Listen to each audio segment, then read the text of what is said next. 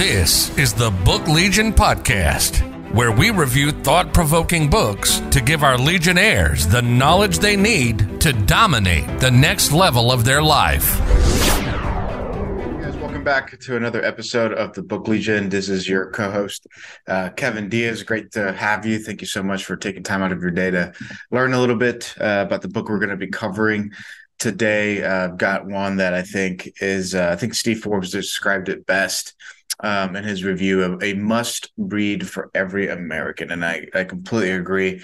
Uh, the book uh, that we're going to be discussing today is one called The Price We Pay. For those watching, here it is. Uh, it's a book by a, uh, a doctor called Marty Makary. Uh, he's a New York Times best-selling author and uh, really healthcare expert slash surgeon slash do it all at Johns Hopkins um, university. You know, he writes for the Wall Street Journal and, and, has even served in leadership at the World Health Organization. And this book, The Price We Pay, actually received the uh, award for Best uh, Business Book of the Year uh, in 2020. Um, it's just a, a, great book overall from um, being transparent about how to improve the health of our healthcare system, pun intended, and just the health of communities across the board. He's really focusing on redesigning a healthcare to make it more reliable, more holistic, more coordinated, um, as all facets of of the healthcare business for it to all be more integrated, better together, to better serve vulnerable uh, populations and and serve everyone at the end of the day. That's what what truly what we're after. And and I think he's at the forefront of uh, a national effort to increase medical transparency and, and lower costs for just everyday businesses and uh, and consumers, right? So um, the book is broken up into three different portions, roughly around 250 pages uh, is the book, so it's not a super crazy long read. Um, there is a lot of information, so I recommend you take it slow um, and and jot down notes as you go. But all in all, very transparent. I loved how he's able to take these complex business operations of our healthcare system. Right, it's a huge p- portion of our expenditure as a country. People don't realize that. Just last year, 18 percent of our uh, GDP uh, went towards healthcare. That's uh, pretty crazy considering you understand how big our GDP is here in the United States. You start to get a better understanding of just how big that this uh, industry is. So broke it up into three different portions. I really enjoyed that, and he does a good job of just making it simple for the everyday person that's not in the healthcare uh, world every day to understand. There's first part is Gold Rush, uh, so he goes into and explains uh, some studies of him traveling around the country and seeing how uh, providers and and uh, are really uh, going after members. Unfortunately, a lot of low income and and uh, middle class individuals going after them, garnishing their wages, just what he calls predatory billing. And it's pretty, honestly, pretty sad to read through those chapters and see people that are, you know, making twelve hundred bucks biweekly paycheck, and then all of a sudden they get their uh, wages garnished in half uh, by the local hospital. He talks about a town in uh, New Mexico, Carlsbad, where there's about 25,000 people living in this town, and there's really only one hospital uh, to serve all of these people. He finds out that statistically speaking, about one in every five citizens in this town as being essentially sued by this hospital and having you know either getting put on payment plans for uh, overcharge procedures or like i said getting their uh, wages garnished getting sued.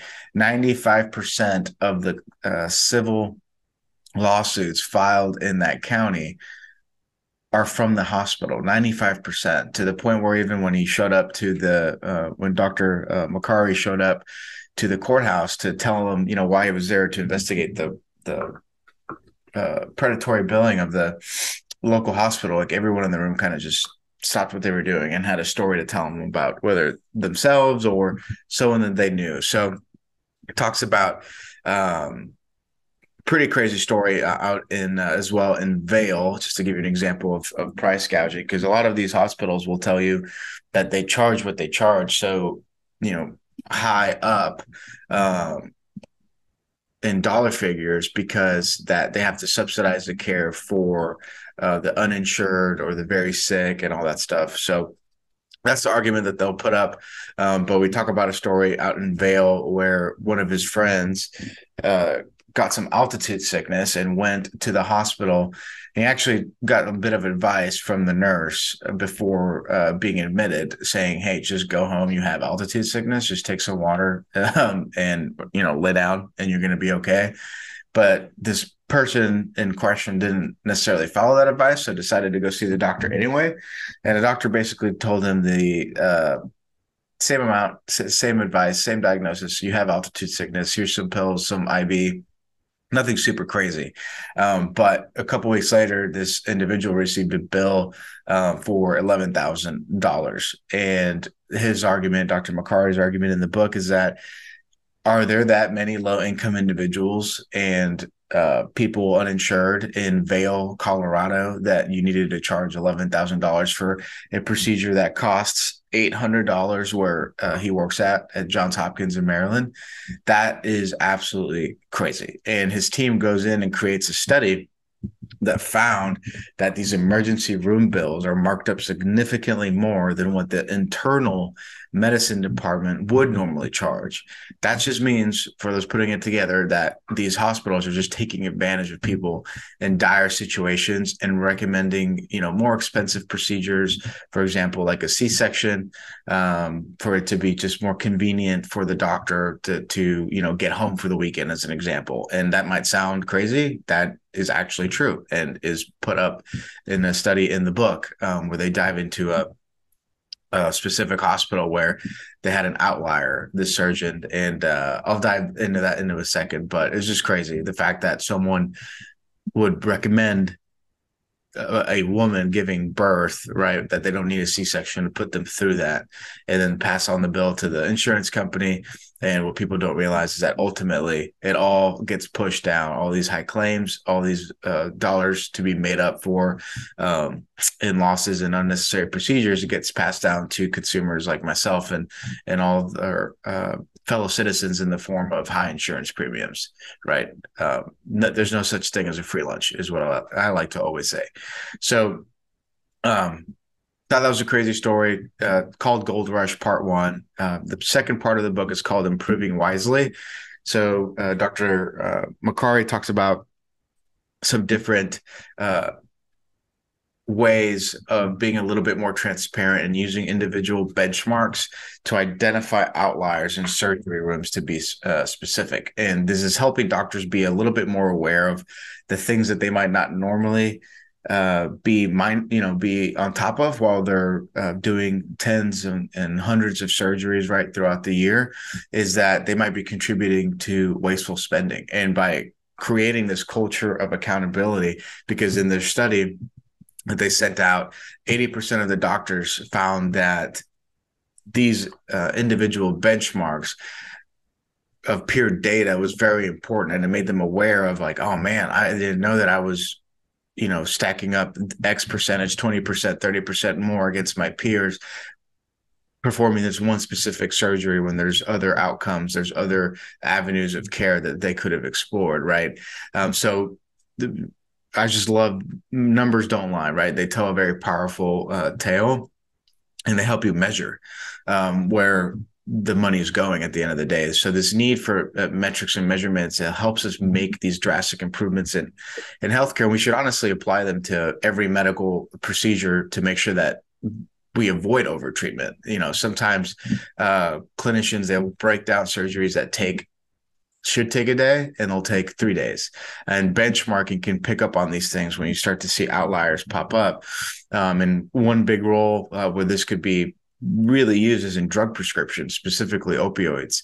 If we could benchmark the surgeries that need op- opioids and how often patients are actually using these post surgery, you could limit how much clinicians can prescribe and, and see if it's even worth uh, passing on on all these medicines and costs, right? Because somebody's got to pay for it. Over treatment is a huge, huge problem in America, and this book uses a lot of examples, but the point is extremely, extremely simple and direct and easy to understand. It's that you need to measure so that you can improve. And uh, part three of the book is essentially just how to um, what's going on in the healthcare industry to really fix it uh, and make it more transparent. And Dr. Makary talks about different organizations out there that have popped up in the last several years that um, are really interested in doing a change and being more price transparent with what um, they're presenting. And because uh, we can't think of another industry that you go into it and you have no idea what you're paying for until after you administer your care right? Uh, it's like going to the mechanic and you need to get you know um, your tires rotated. And you you usually get a price beforehand right? We've all been there. Well with this you go um, and you have no idea what you're paying for until you get a bill in the mail a couple weeks later thinking that your insurance covered it right? Or you might get oh, you know, I'll pay the three thousand dollars, and then you get a bill for twenty thousand dollars because the anesthesiologist that came in and uh, put you under, or another doctor came in and worked on you while you were out cold, is technically out of network. While the facility where you got your surgeries in network, you get a bill for that um, service of the out of network procedure, which is just crazy to me.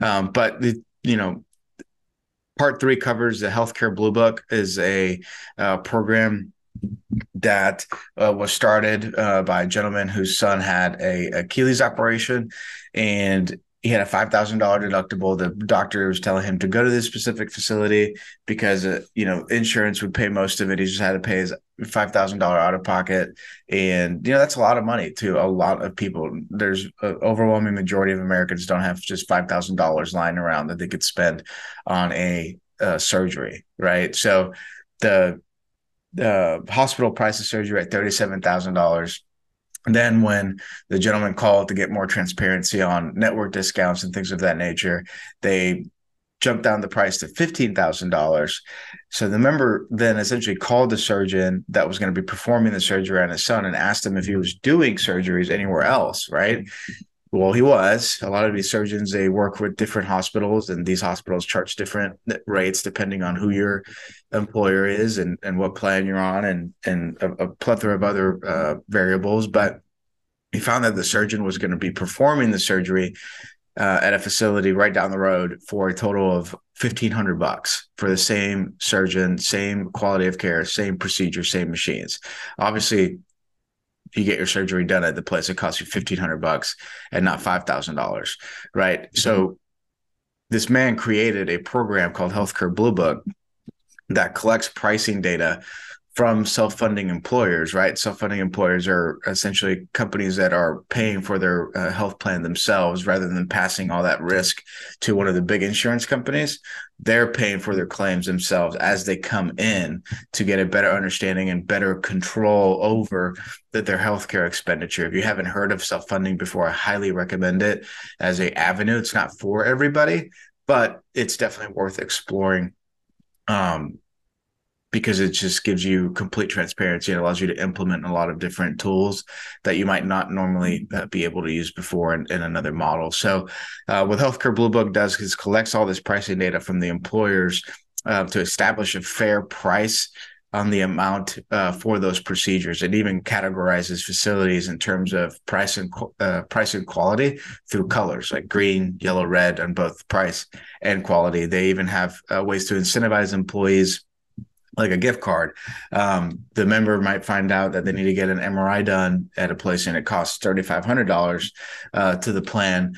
But if they are able to go through a facility at Healthcare Blue Book, let's say it has a green card or a green color in terms of quality and and care, right, and uh, and price, they're able to get a $50 gift card on a MRI that now costs 400 bucks. So it's a win-win for everybody. The employer saving money, the member saving money, and they get a gift card and they get the exact same quality of care um, than going to where the, uh, the hospital was initially recommending. Dr. Makary also covers in part three the transparency of commissions versus consultant fees on the broker side of things, which I think is something that people don't realize exactly how this can contribute to unnecessary spending that's ultimately passed down. It's it's probably the one that's talked about the least is insurance kickbacks. You have uh, consultants out there that might be more interested in essentially getting commission based on a percentage of premium um, rather than taking just a straight up consultant fee for the whole group.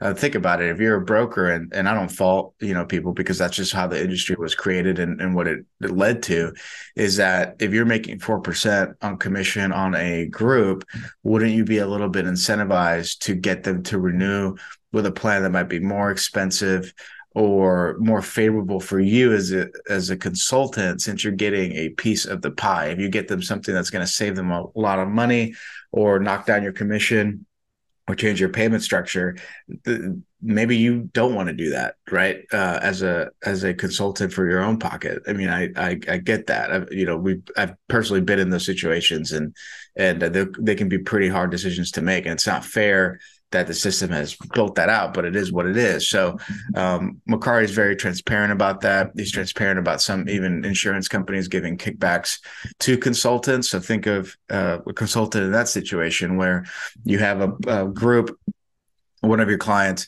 is with X, uh, you know, big insurance company, and you know that there's better options out there, and the big insurance company is telling you that, you know, telling you in your ear if you keep this client with us, will send you or your agency a, a kickback for you know fifty thousand, hundred thousand dollars. That's powerful, and that's should goes to show how powerful these insurance companies are. Um, that even if you don't do that right, and and there's a story on here about that, the broker basically telling these big insurance companies go kick the kick the curb. Um, that you'll essentially get blackballed uh, in the broker community in the uh, health uh, employee benefits community. It's pretty sad. Um, it's just a lot of conflicts of interest are going back and forth from the broker to the insurance company to the group, and it's hard to decipher where the uh, your heart is as a consultant of, of what you're doing. Because um, at the end of the day, those consultants have families to to feed, right? Um, they have their own personal uh, interests as well that they need to juggle and sometimes it just might not be in line with what is best for the employer. So, um, I really enjoyed this book. I would really recommend it to anyone, whether they're in healthcare or not, to get a better understanding of what's going on in our healthcare system. Um, because I think that there's room for improvement. I don't think that we need to blow it all up, my personal opinion, but I think that there's uh, definitely some models out there and programs that are being introduced into the marketplace that can uh, have the help the conversation move forward in a way where uh, people are being, you know, they're making money, they're living a good life, but we're also cutting out the wasteful spending and the administrative, you know, crap uh, that has engulfed our our healthcare system. So we'll put the uh, link for the book in the uh, description below. Put an Amazon link. I again highly recommend it. Um, and you know, don't forget to like, share, and subscribe. Um, and until next time, this is Kevin with the Book Legion signing off.